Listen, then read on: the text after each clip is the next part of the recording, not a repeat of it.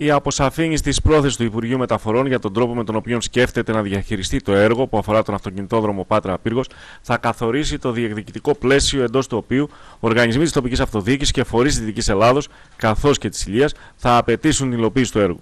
Αυτό τονίστηκε κατά τη διάρκεια της συνεδρίασης του Περιφερειακού Συμβουλίου Δυτικής Ελλάδος την Τετάρτη το απόγευμα στην Πάτρα, όπου έλαμψαν δια τη απουσία τους οι νεοεκλεγέντες και νυν δήμαρχοι της Ηλίας, εκτός του κυρίου Χριστοδουλόπουλου, Δημάρχου Ήλιδας και οι βουλευτές της Νέας Δημοκρατίας και του Κινάλ.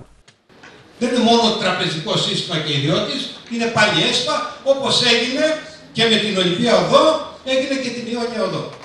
Άρα λοιπόν η Ευρωπαϊκή Επιτροπή έχει λόγο για όλες τις προτινόμενες λύσεις. Αγαπητοί φίλοι και αγαπητοί συνάδελφοι, έχουμε πολύ δρόμο μπροστά μας.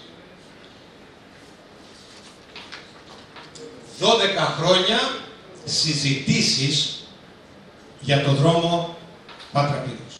Στιγμή μιλάμε επί δημο, ε, δημοσιογραφικών πληροφοριών, επί κάποιων συνεντεύξεων, τα οποία δεν μπαίνουν στην ουσία του πράγματος. Θα πρέπει να ενημερωθούμε αρμοδίως και με κάθε λεπτομέρεια. Και σε αυτό θα τοποθετηθούμε επί τη βάση των τριών σεναρίων που και εγώ πιστεύω προσωπικά ότι κάπως έτσι είναι, αλλά δεν μπορεί να πάρουμε θέση πριν έχουμε την πλήρη εικόνα. Γιατί ξέρετε, τη διαπραγμάτευση με την Ευρωπαϊκή Ένωση δεν την κάνουμε εμείς. Την κάνουν άλλοι.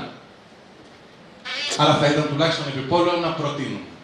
Και γι' αυτό έχω τις αντιθέσεις μου και ως προς την α, πρόταση, παύλα απόφαση, παύλα εισήγηση της Επιτροπής Παρακολούθησης, ως προς κάποιες, έτσι, α, κάποια δεδομένα που δημιουργεί, αλλά και ως προς την πρόταση την οποία θεωρώ λίγο βιαστική.